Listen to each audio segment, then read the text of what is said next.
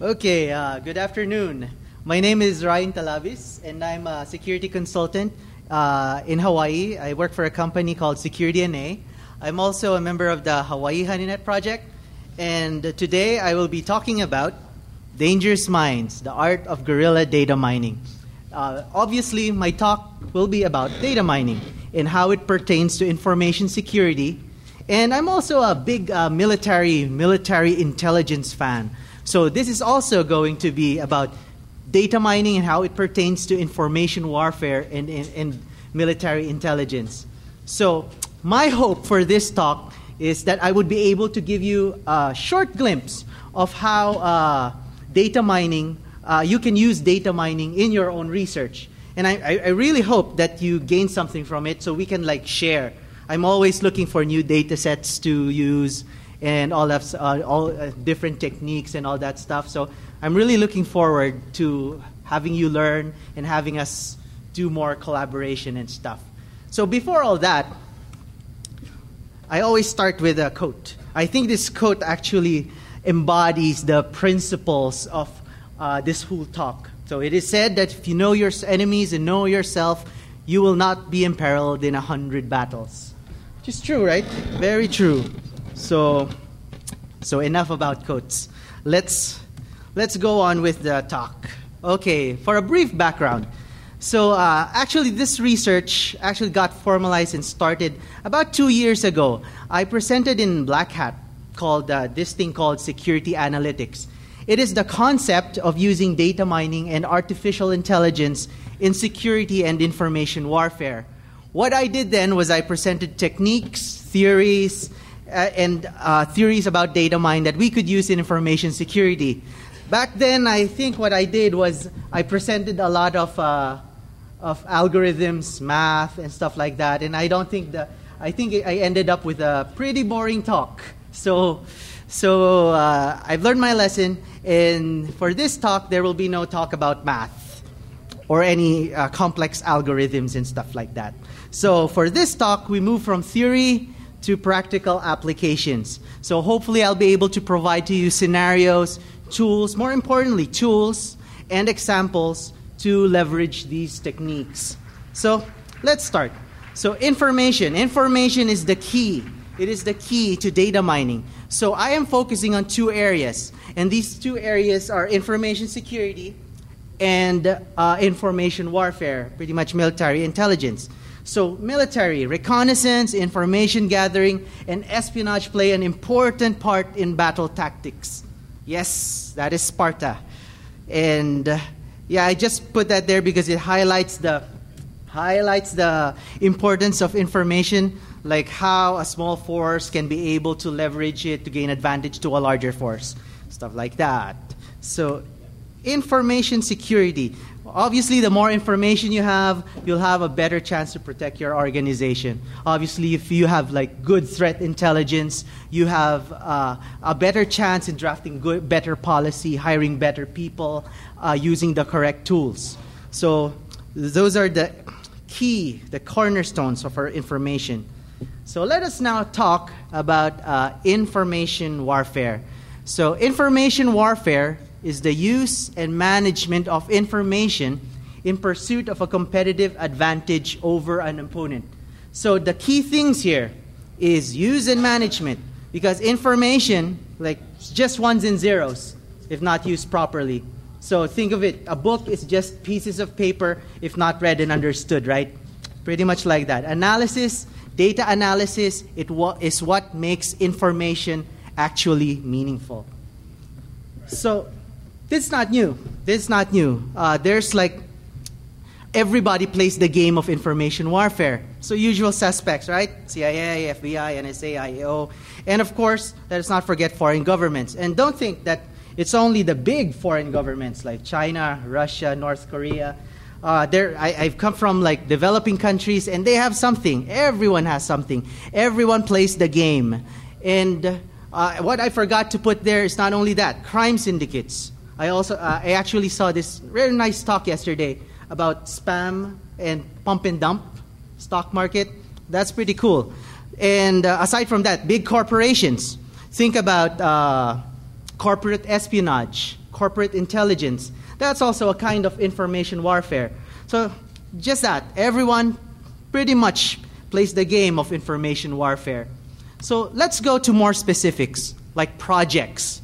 So, the projects here we have Project Echelon, probably the most popular. I guess you've heard about that, like Project Echelon. We have Talon, Advise, Matrix, Able Danger. That was pretty cool.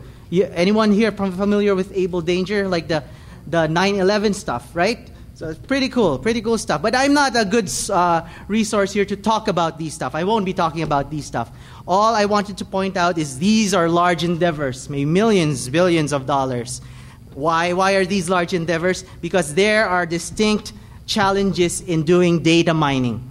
First and foremost, there's the sheer amount of data. There's just too much, just too much data. Resources, way too little. It could be uh, lack of effort, lack of tools, lack of money, combination of everything. So, in that diagram, as you see, th- that's where the challenge is. You have so much data, but what you need is to funnel it and process it so you'll get something meaningful. So, that's the goal. So, that's what we are looking at. So, this is where my research comes in. So, I call it like the Veritas project. Veritas is actually Latin for truth. So this uh, project is modeled after a threat and intelligence gathering premise. So it's just a fancy way of saying that I based it off some Cold War spy network movie. But you, it'll make sense a little later. It'll make sense. Uh, uh, my goal here is I primarily based it off community sharing approach and using tools, technologies, and techniques that are freely available. My, my goal here is so that you guys can also use it. So you guys can do it because information is a realm for everyone. So hopefully you'll be able to use these technologies, tools, and techniques that I'll be talking about in a little bit later in my talk. Okay, now I've told you like spy network, right? So here's the analogy. So think of it this way you have agent one, you have agent two. Agent one gathers one, uh, some part of an inf- uh, information from country one. Agent two picks up an information in country two. Both pieces of information are seemingly unrelated. So you have two pieces of not really usable information. So what happens here goes to HQ, it get, gets filed, still two pieces of separate information. But here's where the thing is. Here's where, where the important thing is the analysis. This is where you, uh, the important thing for this whole framework. This is what makes the framework work. And for example, uh, the analyst finds uh, what you uh, the analyst finds uh, agent one's information. Analyst finds inf- uh, information from agent two. So they put it together and they find relationships. That is the key for this talk. Finding relationships between large sources of data. And when they find one, one is to one plus one equals here, you find relationships. So one mediocre piece of information becomes something more relevant, something more useful. And that's where we have the uh, decision makers now. Action, action based on what we find. So stepping back, let's go now to the framework. So just a little more. Uh, we'll get to the actual framework now. So data collection. We have data collection, we have data storage, we have data analysis, and we have decision making. Okay, let's go through one, each one of those circles. Okay, now for the sources of data, it really depends on what you will be using. Depends on what your research will be. So, for example, if I had like, like I wanted to do some research on hacker chatter, I had a honeynet or a honeypot, and I wanted to do some some research on hacker chatter. So I'd use chat logs, right? So if I wanted to research on military intelligence, I'd have, I'd use uh, press releases and news releases. So sky's the limit here. You can use anything that you uh, that is based on your research. And the idea here is the more information that you can gather, the better your results will be. So that's the simple part. So, data storage. Information can be stored anywhere, pretty much anywhere. Relational databases, flat files. This is possibly the easiest part of this, easiest part. So, as long as you have something to store the information, you should be good. But here is the core of everything analysis. So, this is the most important part, part of the framework crunching large amounts of data. We fi- uh, and the more important thing here is we find relationships within that data. And it is there where we find uh, data me- more meaningful. And I told you that I won't be uh, talking about uh, algorithms and stuff like that, but I have to just mention a few. So these are some of the things that if you do your data mining research, you'll probably like encounter them. So we have k-means, neural networks, support vector machines. Uh, we can talk about it, but uh, maybe later, maybe after the talk, if you would like to talk about it. I'd rather not, but but if you want, so it's uh, doing this manually. It's it's not easy. But the thing here is, there's a lot of tools out there that you can actually use. So some of the good uh, data analysis tools that out, out there and are free are, are these. Like I use this a lot. The first one, uh, Text Garden. It's uh, just a group of uh, Windows binaries, like from some university in Slovenia. So it's very, very useful. It's hard to use though. So, uh, so it takes some, some stuff to getting used to. So on, Ontogen, that's very useful too. It has a really nice GUI. And uh, this is actually where I started off using. So I, I, used that first, and that got me going with all this data analysis stuff. And later, I'll probably give you some sort of exercise so you can use it after after this talk, and hopefully uh, you'll get going with your own research. So the next stuff here is like more the more popular ones. You probably heard of it, Weka and RapidMiner. So I think that particular picture is actually from RapidMiner. And we have like Tanagra, Orange is a Python uh, implementation, Mead, which is more on sentiment analysis, but uh, I'll talk about that later. I don't really use it, but that's some, something that's up and coming, sentiment analysis. So obviously, with all this data analysis, it's always up to us to do the interpretation. I have some uh, samples uh, a little bit later why. Oh, so finally, that ends the concept part of the talk. So, as I've said, I'm, I'd like to focus on uh, more on applications. So, the, the rest of the talk will be more on applications and what I did for uh, what I did using uh, these particular concept.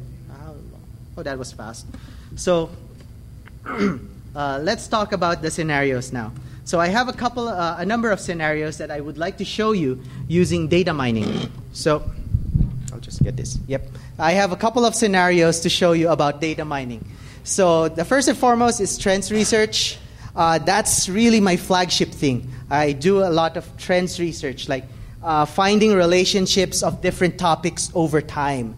So I have two versions of that. Uh, one use, using for information security, and another one for for information warfare, military intelligence stuff. And the next one is malware taxonomy. It's not really that, uh, what do you call this, exciting, but I started off with that. So that's how I got started with all this data mining stuff. And I think that it's the perfect place for you guys to start also if you wanted to do this. So I'll show you that.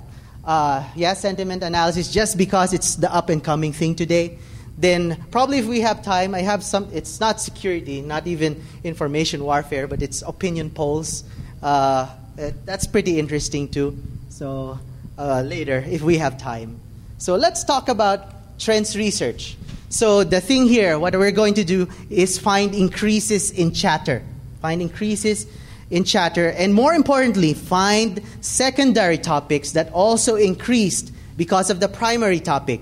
Uh, you'll see this more clearly later in the graphs. So, as I've said, we have the framework, right? Data collection, data storage, data analysis, and basically interpretation. Let's start with data collection first. So, w- with this particular project, what I did uh, was just collect information security items. So, th- th- these could be like news articles, press releases, blogs, forums, wh- whatever. It, it's really dependent on what you're going to research. And the more information that you gather, the better. For example, here I just use crawlers. Sometimes I manually take him. So it all depends on how and what your research will be. So data storage, just a simple relational database. I just put it all there. And the thing here, the core, what I used with the data analysis tool is called, uh, yeah, I told you a while back, Text Garden. And since this, this was my very first implementation, it wasn't too fancy. I did the analysis per month. So version uh, later version 2 will be daily. So this I did per month. So obviously I have to put it there the decision making and interpretation. Uh, let me show you something here. Okay. Yep. Okay. Okay, this is actually. Oh. Yep. This is actually a, a, a, an engine running off what I was telling you guys. Unfortunately, it doesn't really fit too well in the screen, right? Oh, yep, there. So, for example, let's do like a quick search. Like, yep.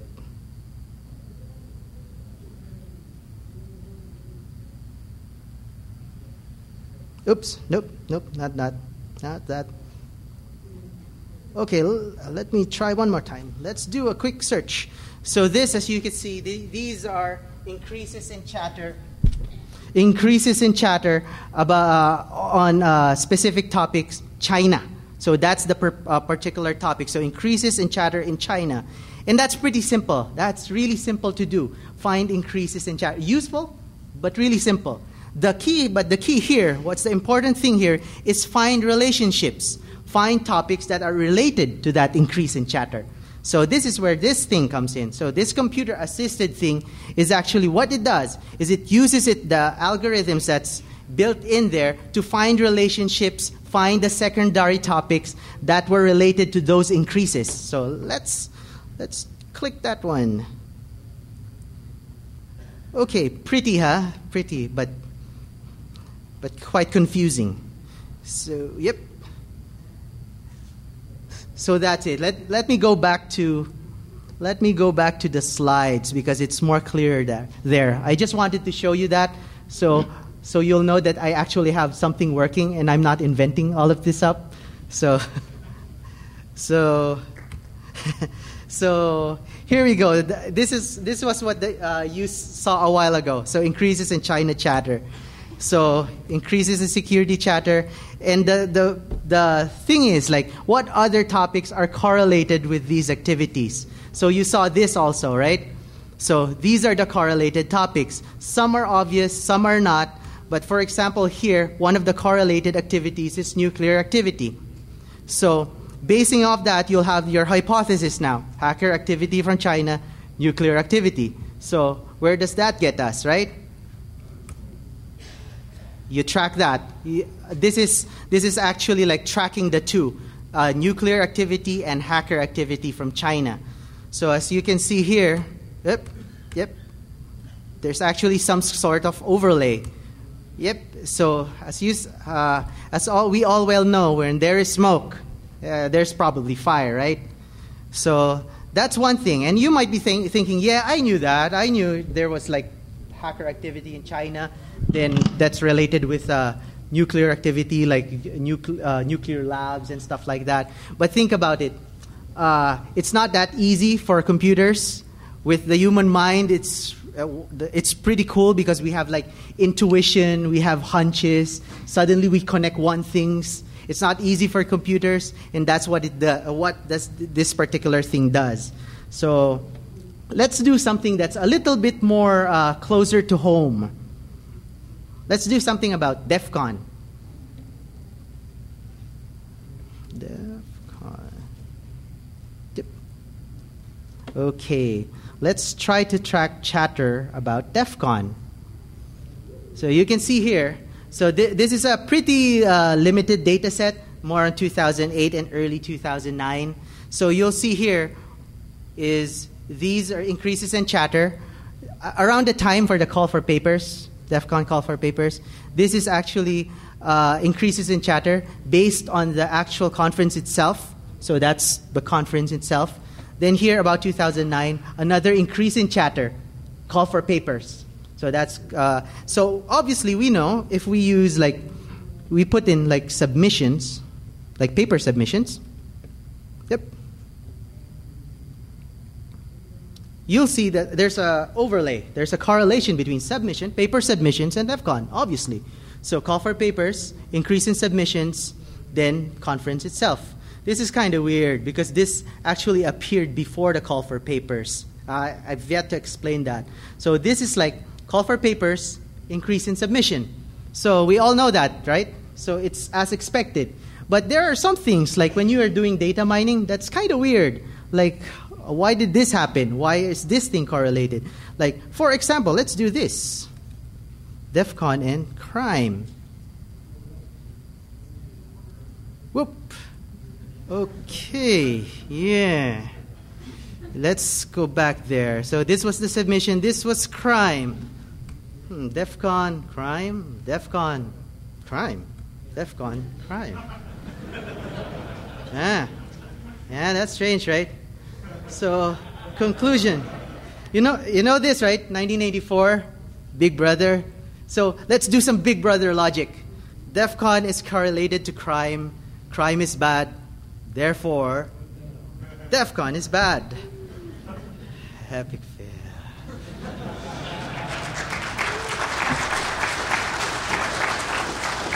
Uh, really, uh, and strange things you find. Yeah? Strange things you find. So that was version one. That was version one. So after that DEF CON thing, I actually got inspired to make a DEF CON, uh, like a version two. Like, okay, let's do a version two. It's very, it's very similar. The only difference here is I used military chatter right now. Then I used the same thing, text garden, but I process it daily. So it's, uh, it's a little bit harder, but it's much more accurate now. Much more accurate now, though I focused more on military intelligence stuff. So, so what has this got to do with the research? Okay, let's, let's open that uh, VM again. Okay, military intelligence. Yep, okay. So I said, I, am from Hawaii, and the past, uh, the past few months, I've been uh, there are two things that I've been thinking about North Korea and missiles. yep. So I began, I, I began trying to track military chatter or military press releases about North Korea. So here's the milita- uh, here's the the spikes in chatter. Obviously, you'll notice this one, right?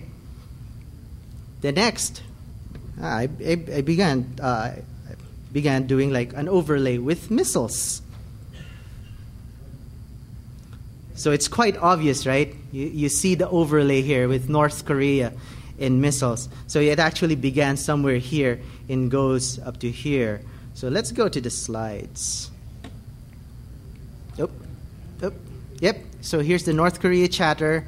You'll see overlaid with missiles. So you'll get here. So as, as you can see here, there's, there's a direct correlation with it. So as, uh, as expected, what do you expect, right? So you have talk, uh, talk about missiles, North Korea, missiles, North Korea, missiles, North Korea, and boom, here you go. And yes! Now, so, so it's actually, you can actually like see the pattern there. Like going up, then there's something, then there's an action. So that was the things that I was uh, thinking about back in Hawaii. So North Korea and missiles. So, but after that, I felt a little bit safer. So and I began to like thinking of other stuff to use this for. So funny things like uh, there's like uh, strange things that uh, what drives your research, right? So in any case, I began doing some more overlays. I don't know why I did this, but suddenly I, I began like overlaying different hotbeds. Like for example, uh, Korea, then Iraq. So I was I, I was trying to like find like correlations between different hotbeds, different hotbed countries. So I began like starting like one by one. So as you can see here, like you see here, like uh, the Korea spike, and you have a spike in Iraq also, like chatter in Iraq. So I began like doing doing like I've been putting like Iran. Okay, this is going to be slower now. So I will. Yep. So you can you can see here, there's also the overlay at this one particular point. So let's do it in slides because it, it's going to be slow. North Korea and Iraq, right? North Korea, Iraq, and Iran. Russia. So you see that particular point, right? So everything's everything's like correlating there. There's like a nexus or something. So here here it is again. As you can see here, like in this particular graph, you see a slight slight increase here, then you find the nexus and boom, goes up. This is around uh, when's the North Korea one? The missile May? I think it was May. Yep, I, I think so, yeah. I believe it is May. 2009. Or is, was it July? July? I forgot. It's so little. So, anyway, these things are what you call tipping point events. So, activities which results in a worldwide shifts of instability. So, ha- have you, uh, any of you guys uh, read Tipping Point? The book Tipping Point. It's pretty cool. So, uh, the idea there was in Tipping Point, there's one event, one single event, which changes things. And from this particular point, there's a tipping point event, and it goes up. So it happens everywhere, like uh, even epi- epidemics, trends, fashion trends, and stuff like that. So obviously, I have a theory here also. I also have a theory here. Uh, basically, it's about human nature. So human nature and fear. So so obviously, when everyone is afraid, everyone is afraid, and and right now it's so easy to do that because there's like the media and all of that stuff. So there's an increase in worldwide tension, and with this increase in worldwide t- tension, actions are easily triggered. So it's uh, basically human psychology, right? Human nature. Fear, tension, then suddenly action is easily triggered, right? For, for example, if you are angry at someone, then then you take out your anger with other people. So even if it's like totally unrelated, it gets somehow this triggers other stuff. So a wise man actually like uh, actually mentioned this like way before I was born. Yeah. Fear leads to anger, anger leads to hate, hate leads to suffering. So that was that is my first theory. So the second theory, the second theory, uh, I like the military intelligence stuff, but I, but uh, some of my uh, friends in Hawaii are big conspiracy theory fans. So, so the second theory is Skynet. there is something out there. There is something out there. So, anyway, that was that was my version one and version two of the trends analysis. So, so. Uh, here, but here in the malware taxonomy, it's not as fancy as that. It's, this is not even like, uh, doesn't even uh, do it historically. But I started off with this. I started off my data mining uh, activities by using this stuff. So it's basically grouping similar malwares together, finding relationships between the two. Uh, for data collection, these are notes for malware analysis. So uh, these are not signatures. These are these are actually like text, natural language, like a description, like this particular malware is blah, blah, blah, blah, blah, something like that. So data storage, just flat files. And what I used here is probably the uh, si- simplest one that you can use, that you can probably uh, use for your uh, own research right on, right on the get go. So I used Ontogen. So next, uh, this is, oh, let's start now. Let's, let's do that. Yep, so I actually cheated. I started this off already. I started processing uh, at the beginning of my talk because it uh, actually takes a while, especially I'm using my netbook and stuff. So it's pretty simple. You use just uh, grab Ontogen, new ontology folder, then you pick the actual folder where your uh, what do you call this? When where your data is located. So that's what I did. I'll, I have some uh, instructions in the slides in doing this. So what happened there is it processed it. So I had like about 2,000 malware descriptions. And the thing here is what, what I want to do is have it uh, give me what are the groups uh, similar, uh, like two, for, for, for that 2,000 documents, give me similar groups of malware. So let's do this. Is not an automatic uh, what you call uh, unsupervised learning. So this is semi unsupervised. So because it suggests. So as you can see here, it gave me su- suggestions of what those particular groups are. Uh, let's just run through this. Check, check, check. So uh, from those uh, 2,000 individual uh, text files, it gave me 10 groups. So these are the common groups. Uh, so you'll see, like we have uh, macro viruses, uh, boot sector viruses, and you can actually like start breaking this down. Like for example, this particular part, the macro viruses, you can uh, you can actually, oops, suggest. You can actually still break it down. Add. You'll see Excel and Word. So it's pretty simple to use, very, very easy. So just install it and you have something. So uh, let me go back to the slides. So the instructions are all here. So it was pretty simple. So these are the these are my data sources. These are all text files, text files with malware descriptions. You have here, bam. Yep. What I wasn't able to show you was this particular thing. This actually shows you w- what the particular documents are included in your group. So it grouped it together. Uh, sort by similarity. Oops. You'll see here, group together all the macro viruses.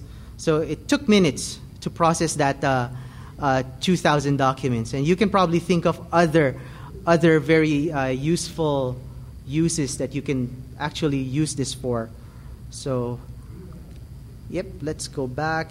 It actually does this, a pretty neat visualization thing, but it's too slow for me to, to show you here. So it clusters together all the similar instances. Pretty, very pretty. So this is something that I hope like I hope like after after this talk you can actually try it out. So you can like start like doing stuff and we can like share information.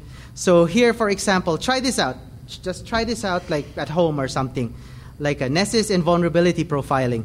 So you have thousands in results, and all you need to know is what types of vulnerabilities define the network. So think of it like a, a uh, network DNA something, uh, uh, DNA something, yeah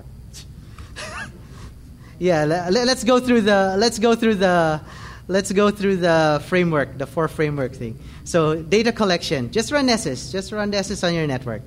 Grab the xml files. So grab the xml files and what do you do with the xml file? You just parse it. Try parsing it and the important thing here is for each of those findings uh, put it in a text file. So because uh, with Ontogen, uh, that's the only thing that it can handle, like text files. So what, what you can do is probably like parse it using like Perl or something, like just grab the information there and spit it out as a text file. One finding per text file. One, because that's very important because it'll give you the weights and what type. Like for example, there are more of these types of the vulnerabilities. There will be more text file, more text files, and the more the weights will be like stuff. So okay, so data analysis. Just install Ontogen, the the one that I showed you a while ago. Then process the text files using Ontogen. So what you'll see there is a clustered view of co- common vulnerabilities in your network. So if you just wanted to find out, okay, I have this tons of results, but I wanted to find out, okay, what are the major types of vulnerabilities in my network? And hopefully you'll be able to see this through that exercise I showed you. And ju- just contact me if you need help or something. So so hopefully you can try that. You can try that out. This is the probably the simplest part, like simplest da- data mining exercise that I can think of, and it started me off doing this, and hopefully it can start you off also.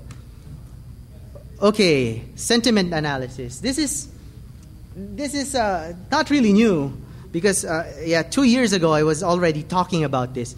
The idea of uh, sentiment analysis is uh, putting weights into words, negative and positive because certain words would have uh, there are certain words that are negative certain words that are positive. Like for example if you say suicide that's negative right?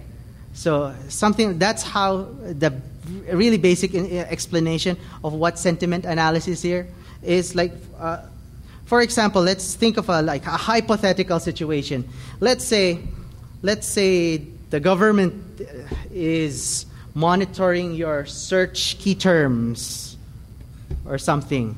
Yep. For example, you ha- and they're able to tie it to households and individuals. Uh, I know it's impossible, but uh, let's a hypothetical situation. For example, there are two households.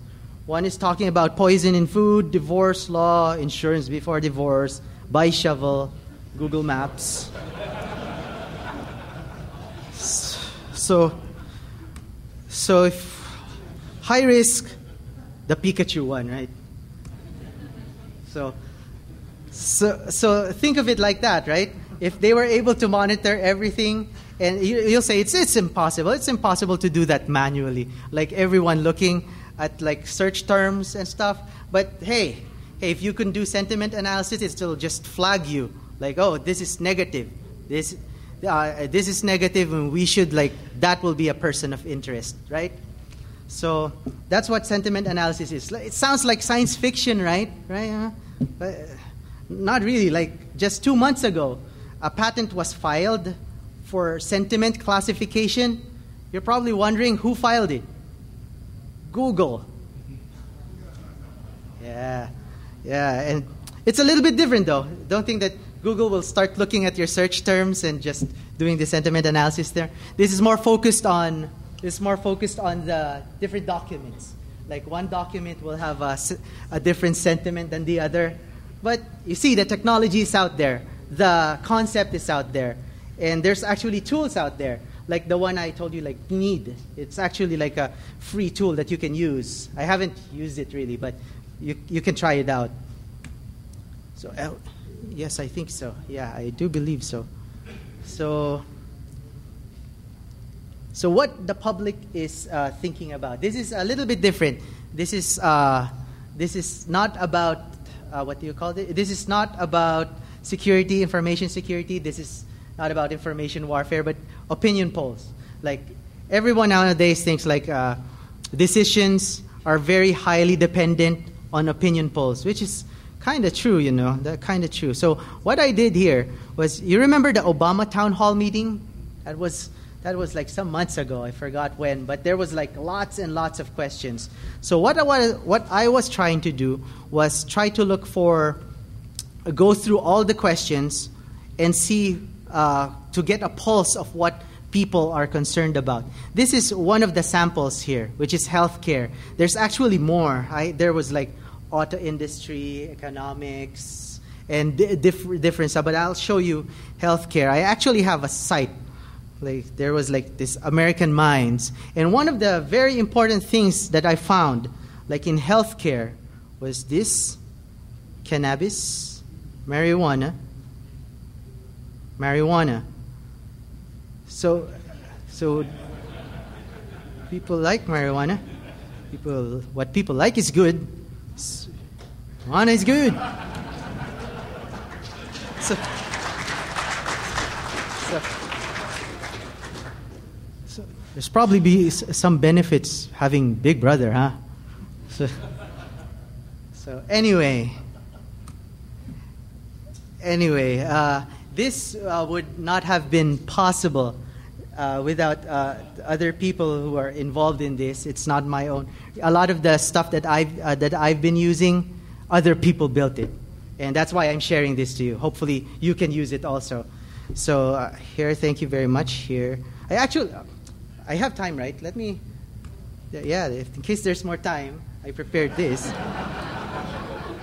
yeah, you know the chatter logs, the hacker chatter thing? So you can actually use that too. So if you have like a honeypot or something, you, you get like a, like IRC chat logs. I don't know about the privacy stuff, legal stuff about like monitoring IRC chatter logs or something in your own honeypot. Not too familiar, but but one thing you can actually do is like monitor chat logs and find persons of interest and like correlate different cells together. For example, you're able to have like you're monitoring different chat chat rooms and you try to like okay who are these people? Who are related to which people? So you can do that too. So these are like sample chat logs and you can do like like you can cluster them like who is related to who. So those are like some of the some of the other stuff that you can do. Actually sky's the limit. As long as you have data as long as you have information you can pretty much do data mining. And the tools are out there so it's pretty easy to use like the ontogen thing. I really hope you try that out that exercise. Like uh, and please feel free to email me if you have problems with that if you wa- want some assistance in doing that. So in any case uh, i think i will be Yep, I'll be accepting questions in 104 if you have any questions. So, uh, thank you very much. Mahalo.